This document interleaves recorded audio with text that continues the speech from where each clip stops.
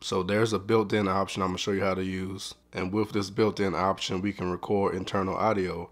But there's gonna be some things we can't record, but I'm gonna go over that after we go through how to do it. So once you pull down the toolbar here, you have to most likely pull it so it stands and shows all the options.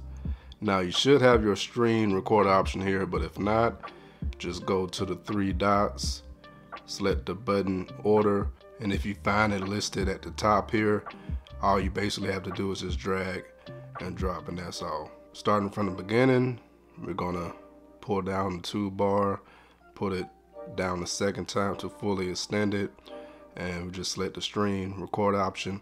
The options is gonna give us no sound, so it'll just be video with no sound. Media sounds, that's the internal audio that we're looking for. And then media sounds and mic. So that means say for example if I'm recording a YouTube video and I select the media sounds and mic option so it's going to record the audio coming from that YouTube video as if it's playing from the YouTube video itself on your phone. And it's going to play if I'm talking or if it's background noise going on. At the same time I'm playing the video it's going to do that as well.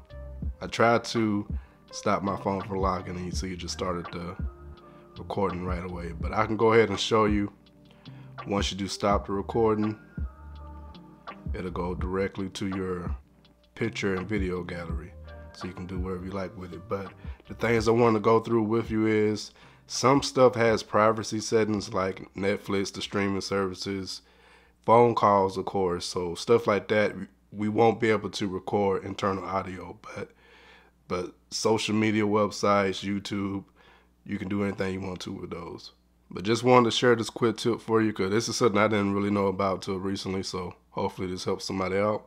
That's all I got for you. Much love to each and every one of you. I'm your downloading pirate, and I'm out.